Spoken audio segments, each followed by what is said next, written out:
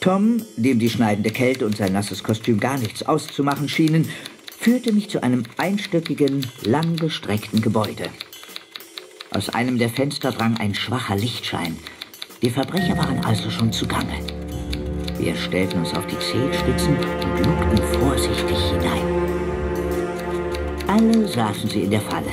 Buster, Betsy, Ed, Jim und ein mir unbekannter Mann, in dem Tom den verräterischen Kohlearbeiter wiedererkannte, welcher wohl den Tipp mit dem wohlgefüllten Tresor gegeben hatte. Jetzt haben wir sie. Sie fühlen sich ihrer Sache offenbar so sicher, dass sie es nicht mal für nötig befunden haben, eine Wache zu postieren. Gut für uns. Da kommt Bill mit der Polizei. Leise, wir gehen ihnen lieber entgegen. Sind Sie Mr. Tom Shark? Was ist denn mit Ihnen geschehen? Sie sehen ja fürchterlich zerlumpt aus. Alles Tarnung. Ich bin inkognito unterwegs, you know. Ich bin Kommissar Jürgens vom Wachkommando 3 der Hafenpolizei.